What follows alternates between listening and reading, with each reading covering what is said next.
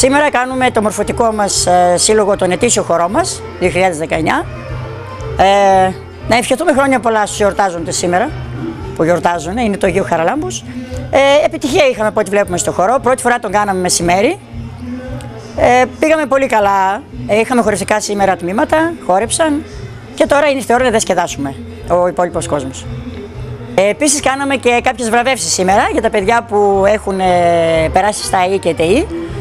Ε, κάναμε μια ιδιαίτερη βράβευση σήμερα, τον πάτερ του χωριού μας, ε, για την τιμή που μας έκανε τόσα χρόνια. Φυσικά δεν βρίσκεται στη ζωή, αλλά εμείς είχαμε υποχρέωση να τον τιμήσουμε με μια ιερή πλακέτα.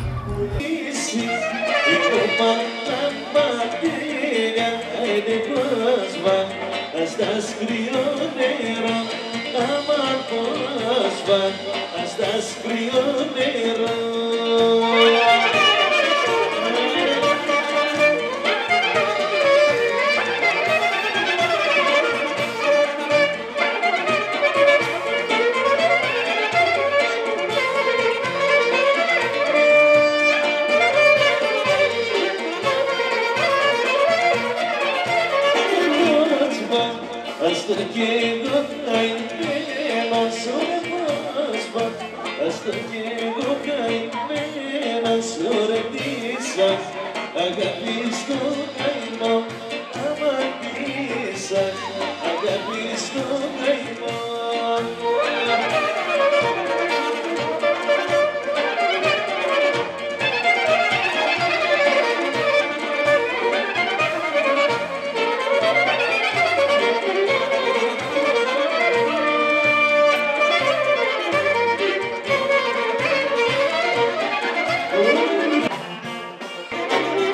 Gazette dönmeymena Baba Rabbul Hakimum Gazette dönmeymena Beşir